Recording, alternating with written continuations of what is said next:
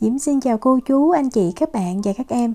Bánh tàn ong thì có rất là nhiều loại và món bánh tàn ong của người Bỉ thì cũng nổi tiếng lắm luôn. Bánh tàn ong của người Bỉ khác những bánh tàn ong khác ở chỗ cái lượng chất béo rất là cao và cũng có hai loại thì trong video này Diễm chia sẻ cái loại mà nhà Diễm ăn thấy rất là thích. Cách làm như thế nào thì bây giờ mình cùng vào bếp làm món bánh tàn ong với Diễm nha.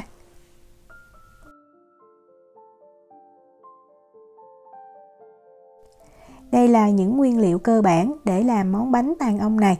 Thì Diễm giới thiệu sơ ha. Đầu tiên là bột mì, mình cần 500g. Mình sử dụng bột mì đa dụng hoặc là bột mì Diễm dùng ở đây có hàm lượng protein là 11,2%. Sữa thì 200ml và mình lấy ngay từ tủ lạnh ra dùng vẫn được. Đường thì mình cần 50g, Diễm dùng đường nâu, nếu mà mình không có thì mình sử dụng đường cát trắng bình thường vẫn được. Đây là cái hiệu của Diễm dùng đường nâu thì giúp cho cái bánh, cái màu nó đẹp hơn thôi. Về trứng gà thì mình cần hai trứng ha. Diễm cân luôn vỏ thì mỗi trứng nó dao động từ 62 cho tới 64 gram. Mình lấy ngay từ tủ lạnh ra làm vẫn được. Men nở thì mình cần 7 gram và là men không cần kích hoạt để mình cho trực tiếp vào trong bột nha. Men thì Diễm sử dụng men làm bánh mì bình thường thôi. Đây là cái hiệu men mà Diễm dùng nè. Mình dùng hiệu nào cũng được ha quan trọng là men không cần kích hoạt. Bơ thì mình cần 200g ở đây Diễm sử dụng bơ có muối, mình sử dụng bơ không có muối vẫn được ha. Trước khi làm thì mình cắt bơ ra nhỏ như vậy và mình để ở nhiệt độ phòng cho bơ mềm. Hoặc là như Diễm muốn làm điền thì Diễm cho vào trong lò vi sóng. Đầu tiên mình sẽ đập hai cái trứng gà vào trong cái thao để mình nhồi bột. Hôm nay mình sẽ nhồi bột bằng máy nha sau đó mình tiếp tục cho sữa tươi vào nè. Rồi mình cho đường nâu. Và cuối cùng là mình cho men nở. Sau đó mình dùng cái đồ phết bột đó, mình khuấy cho những cái hỗn hợp nó hòa đều với nhau.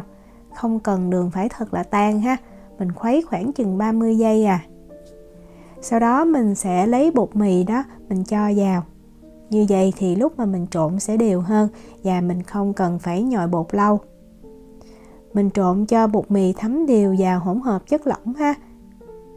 Mình trộn bên dưới tại thông thường á, bột khô nó nằm ở bên dưới rất là nhiều. Đó như vậy là được nè. Rồi bây giờ mình cho vào trong máy mình nhồi. Nếu mà không có máy á, thì mình cứ nhồi bằng tay nha. Mình sử dụng cái cây xoắn này nè. Và mình bật máy ở cái tốc độ thấp. Máy diễm cái công suất là 1700W thì diễm để số 1 và mình nhồi ở tốc độ thấp này, trong vòng 5 phút ha. Còn nếu mà mình nhồi tay thì khoảng thời gian cũng tương đương như vậy thôi. Quan trọng là mình thấy bột nó kết dính lại và nó tạo thành một khối.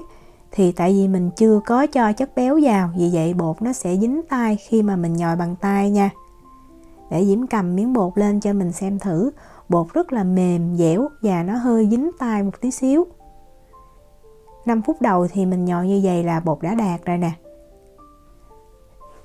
rồi bây giờ mình mới đi lấy cái phần bơ.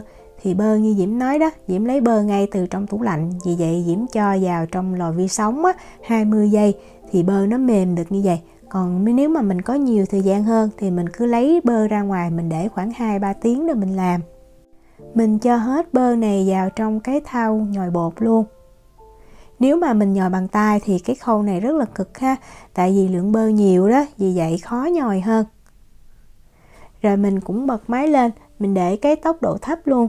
Và lúc này mình sẽ nhồi trong khoảng thời gian là 15 phút.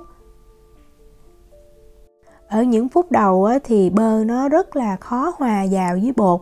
Vì vậy mình nên lấy cái cây phết bột á, nếu mà bơ nó đẩy lên trên thì mình mình tém bơ lại. Như vậy thì bơ nó dễ hòa đều hơn. Và mình cứ làm khoảng cỡ chừng 1 tới 2 lần cũng tùy máy ha. Máy của Diễm thì Diễm thấy nó đẩy bơ lên hơi nhiều. Khi mà bơ nó đã hòa vào rồi thì bột nó nhồi rất là dễ dàng. Thường thì nhồi 10 phút cũng được nhưng mà Diễm thấy mình nhồi 15 phút á, cho cái bột nó mềm và nó dẻo hơn. Thì lúc mà mình ăn á, cái bánh nó sẽ mềm nó không có bị cứng lắm. Bột sau khi nhồi đúng 15 phút thì nó như thế này. Lúc này bột rất là mềm ha thì mình lấy cái cây phết bột đó, mình sẽ tém những cái bột dư ở trên. Và mình xới bột lên, mình thấy là bột nó không có bị dính ở dưới cái đế thao. Rồi mình túm bột lại, cho nó tạo thành một khối tròn. Và mình để bột ở trong cái thao nhồi bột này luôn tại tí xíu nữa sau khi mà bột ủ đạt rồi, mình tiếp tục quá mình trộn đường vào.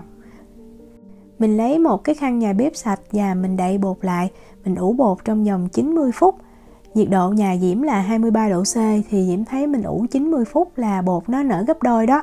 Còn nếu mà như ở Việt Nam đi, nhiệt độ nóng hơn thì có thể mình ủ chừng 60 cho tới 75 phút. Quan trọng là mình thấy bột nó nở gấp đôi là được. Thì lúc này mình cho đường vào. Đường mình sẽ sử dụng 120 gram và Diễm dùng cái đường hạt to này nè. Nếu mà mình có cái loại đường hạt to hơn nữa thì mình dùng cũng được. Hoặc không có nữa thì mình sử dụng đường cát bình thường ha đó cái hạt đường này nó to như vậy để khi mà mình cho vào trong bột á nó không có bị tan ra giúp cho khi mà mình nướng á, cái bánh nó sẽ xốp hơn. Mình cho thêm một muỗng cà phê tinh chất vani ha nếu mà mình có cái vani bột mình cho vào cũng được. Rồi mình cho vào máy và mình bật lên cái tốc độ thấp mình nhồi thêm một phút ha. Không có cần nhồi lâu quan trọng là cho đường này á, nó trộn đều trong cái bột là được mình lưu ý là mình không có nên nhồi lâu tại vì mình nhồi lâu sẽ làm đường nó tan hết nha. Quan trọng là đường nó hòa đều vào trong bột. Lấy bột ra ngoài thì mình thấy á, bột á, nó mình cầm ra nguyên một khối được luôn nhưng mà nó rất là mềm. Đó để Diễm quay gần cho mình xem cầm lên thấy dẻo ha. Và có thể lúc mà mình đẩy ra mình thấy giống như nó kéo màng được luôn đó thì bây giờ mình sẽ chia bột ra tùy mình thích cái bánh nó nhỏ hay lớn. Với cái lượng bột này á, thì Diễm thấy mình chia ra làm 12 phần bằng nhau. Mỗi phần nó khoảng từ 95 cho tới 97 gram á, thì Diễm thấy cái bánh rất là vừa ăn. Bột lấy ra nó mềm như vậy nè thì mình đập vài lần cho nó săn lại tí xíu. Và mình xe lại cho nó vừa tròn là được không cần phải quá tròn ha. Thì như vậy lúc mà mình cho vào cái khuôn bánh á, mình nướng cái bánh nó đều nó đẹp hơn đó xe dài dòng như vậy là được. Mình lấy cái màng bọc thực phẩm á, mình đậy bột lại và mình để cho bột nó nghỉ 20 phút là mình mang mình đi nướng bánh nha. Bây giờ Diễm đi giới thiệu cái máy nướng bánh. Đối với bánh tàn ong của Bỉ thì mình phải có cái máy nướng này nó khác với lại cái bánh tàn ong bình thường. Thì cái máy này cái hiệu là Lugix Diễm mua 5-6 năm rồi nên cũng không có nhớ giá nữa máy này cũng tiện là nó vừa có cái khuôn bánh tàn ong mà nó có cái khuôn để mình làm bánh mì kẹp sandwich luôn. Mình gỡ ra rất là dễ để mình rửa hoặc là khi mà mình muốn thay cái khuôn để mình làm cái bánh sandwich đó. Khi mà mình nướng bánh thì mình làm nóng cái máy trước nha. Thời gian làm nóng thì tùy thuộc vào cái máy của mình. Máy diễm á, diễm thấy là diễm cần 3 phút để cho máy nó nóng đủ. Máy nó nóng đủ thì mình cho bột vào nó mới nở ngon khi mà mình mở ra mình thấy máy rất là nóng có khói bốc lên luôn ha thì mình cho bột vào ngay giữa của khuôn. Rồi mình kẹp lại và mình nướng. Thì thời gian nướng thì cũng tùy thuộc vào cái máy. Máy này của Diễm á, Diễm nướng á, chính xác là 4 phút 20 giây thì Diễm thấy cái bánh nó rất là vàng và nó giòn bên ngoài. Bánh này á, nếu mà mình nướng xong mình muốn ăn liền á, thì mình sẽ nướng cho nó vàng nó vàng thì bên ngoài nó giòn mà bên trong nó mềm nó xốp. Còn nếu mà số lượng nhiều á, mình ăn không hết thì mình nướng á, cho nó vừa đủ thôi. Khoảng thời gian khoảng 4 phút thì khi mà mình ăn mình hâm lại nó sẽ ngon hơn nó không bị quá vàng. Diễm nướng như vậy á, thì Diễm ăn một phần thôi. Còn một phần á, thì Diễm cất vào trong tủ đông đá đó. Khi ăn thì Diễm lấy ra Diễm hơ lại rất là ngon. Lấy bánh ra thì mình sẽ để trên một cái vỉ như vậy giúp cho cái hơi á, nó không có bị động thì cái bánh nó sẽ giòn lâu hơn. Và vừa nướng xong á mình đợi khoảng chừng 10 phút mình ăn là ngon nhất ha. Tại lúc này á, cái bánh á, bên ngoài cái vỏ nó giòn nè. Nó diễm gõ cho mình nghe thử. Khi mà mình cầm bánh lên á, thì mình thấy nó rất là nhẹ. Như Diễm nói ở đầu video á, thì bánh tàn ong bỉ nó có hai loại. Một loại là bên ngoài giòn bên trong mềm xốp và một loại là nó rất là mềm. Thì Diễm thấy có loại mềm á, ăn nó dễ ngán hơn. Bánh này ăn không hết á, thì mình cứ bảo quản trong tủ đông đá. Khi ăn á, thì mình kẹp lại trong cái máy đó. Nó sẽ giòn bên ngoài và bên trong nó mềm nó xốp. Không bị khô rất là ngon luôn. Diễm chúc cô chú, anh chị, các bạn và các em thành công với lại món bánh tàn ong của Bỉ này.